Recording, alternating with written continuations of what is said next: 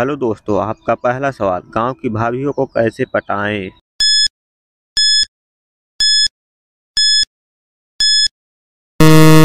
इसका जवाब होगा मीठी मीठी बातें करके गाँव के भाभीियों को पटाना चाहिए। दूसरा सवाल, गाँव के लड़के लड़कियों को चोरने के लिए कहाँ ले जाते हैं?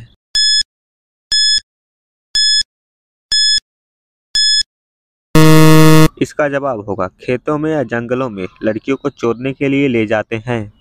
तीसरा सवाल, गाँव की लड़कियों को कैसे पटाएँ?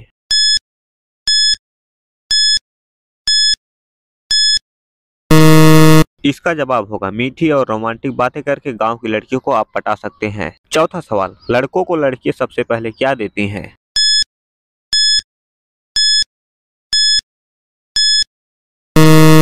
इसका उत्तर होगा, सबसे पहले लड़कियाँ किस या चुम्मा देती हैं? पांचवा सवाल, लड़कियों का शादी से पहले बॉयफ्रेंड होता है कि नहीं?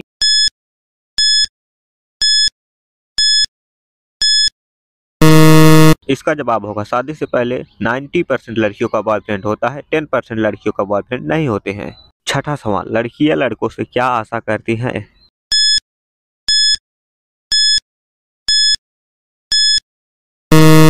इसका जवाब होगा लड़कियाँ लड़कों से शॉपिंग और प्यार का आशा करती हैं। वीडियो पसंद आए तो लाइक करें, चैनल पर नए हो तो चैनल को सब्सक्राइब करें, बेल आइकन घंटी को दबाना ना भूलें।